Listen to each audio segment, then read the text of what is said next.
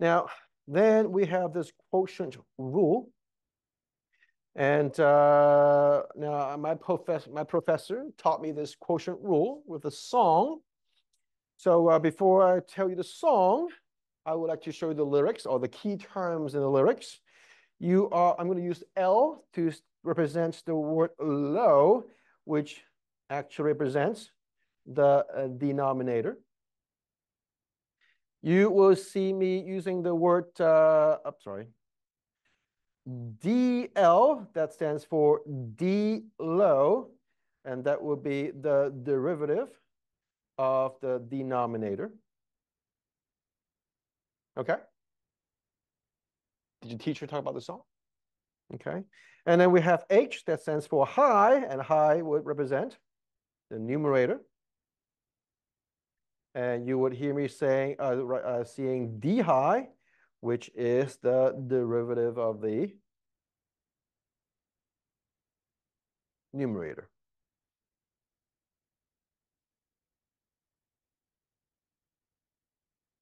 Right? So the song goes like this.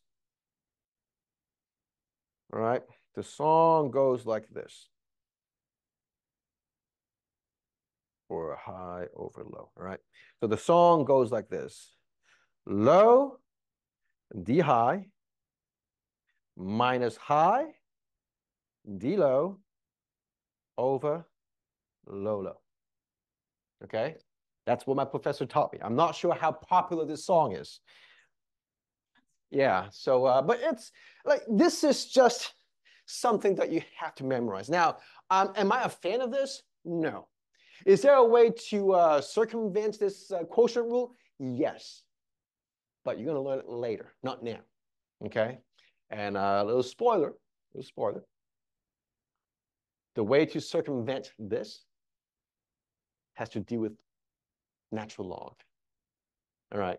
It's a good thing, okay? And, and I would say, I, I would confess that before calculus, log is such a monster. You have all these properties. And when you go to calculus, you will have the moment to truly appreciate this property of uh, natural log. But we'll save that for later. So what it means is that you have g of x, the denominator times f prime of x, d high, minus high, and then d low over low, low. And let me color code all the derivatives so you can see it slightly better.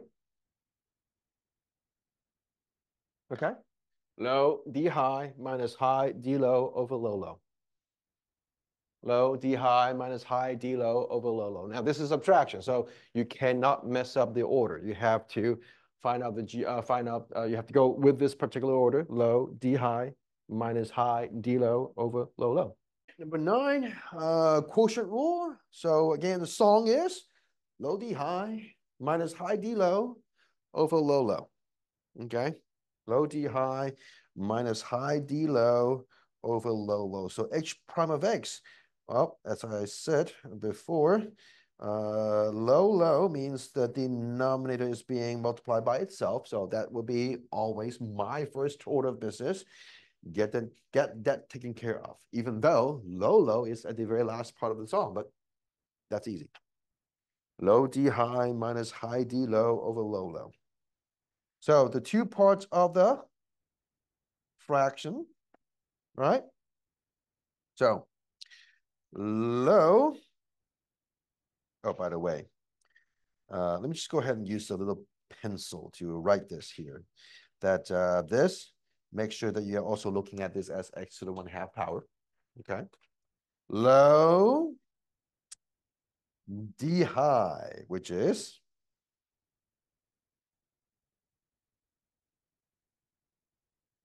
minus I D low.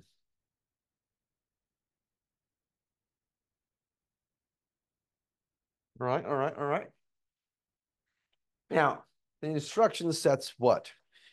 You cannot have a complex fraction. Do we have a complex fraction right here? Well, yes, because uh, in the numerator, you've got a 2 in the fraction. This is about to be a square root x in the little fraction, in the denominator. So how can we resolve this case of complex fraction? Now, let me just go ahead clean things up a little bit for you to see what's happening here. But uh, another thing that I will tell you in a moment, and that is um,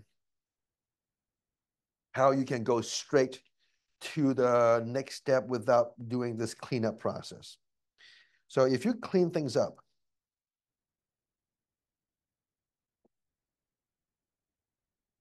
the derivative would become 2 square root x in the denominator.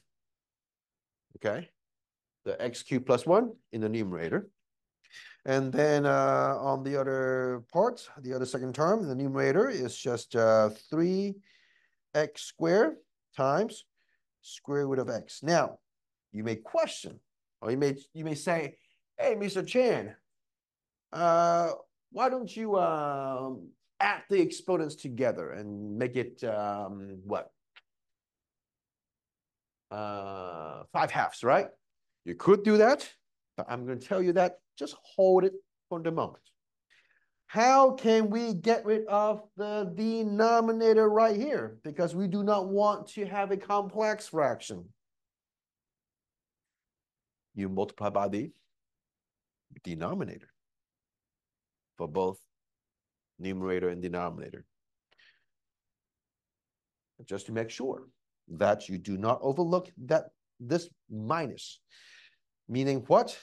Meaning that you are supposed to distribute into these two separate terms in the numerator. Okay? Now, for the denominator, there's not much to really discuss. And again, uh, in calculus, we don't really need you to rationalize anything. Just keep the square root x in the denominator. We are happy.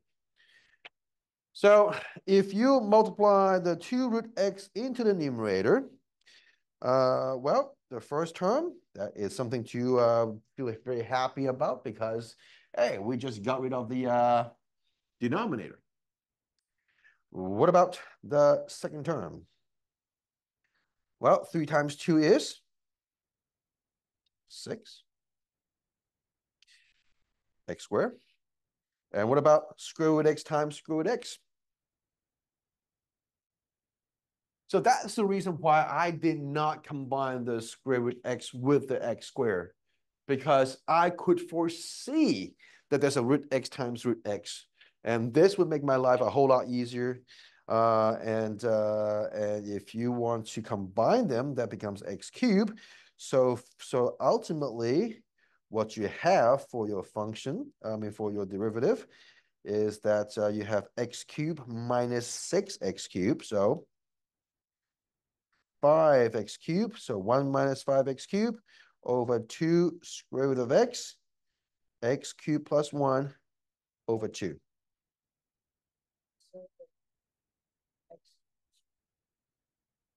Can you know what? Oh, I can see why you're asking this. So you're looking, you're talking about these two, right? You cannot because these are all additions and subtractions. It has to be multiplication, okay? And uh, a good way to think about this is to ask you, hey, uh, can I just cancel these two A's? And it's never a yes, never. Because the A right here, it's really a common denominator. Okay? So, uh, so that's not really a good uh, uh, reason to cancel them out. So, nope, not going to do it. Can't do it.